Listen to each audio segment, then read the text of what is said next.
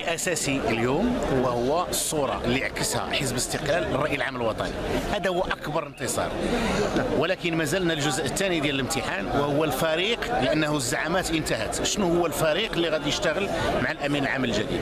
بغينا يكون فريق منسجم متكامل ويعطي هذه الصورة الجيدة للشعب المغربي.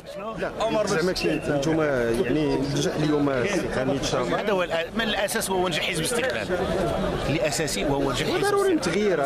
مزيان. يعني كان خطاب من قبل بانه راه الوزراء ما تعبروش على الحزب كما يجب والحزب ما واخدش حقه كما يجب. هادشي غادي هادشي غادي يدرس في المؤسسات ديال الحزب والحزب ماشي هو اللي مؤهل أنه يدير التعديل الحكومي. التعديل الحكومي راه كاين دستور جديد وعنده آليات وكاين منطق اللي كيمشي فيه.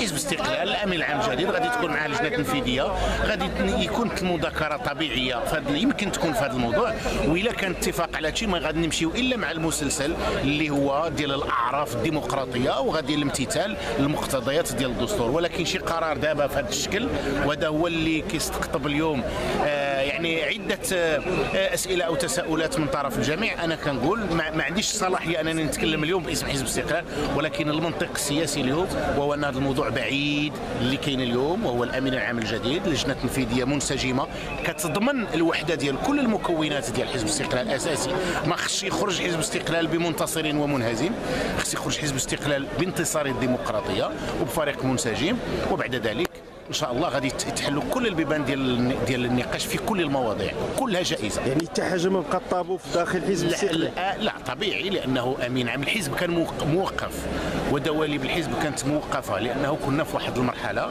اللي كانت انتقالية دابا ها هو الأمين العام بان غادي تجي لجنة تنفيذيه منسجمة إن شاء الله بحال اللي قلت لك أنها تضمن الوحدة ديال الحزب وفيها كل التيارات تكون مجتمعه فيها وأنا ذاك على بركه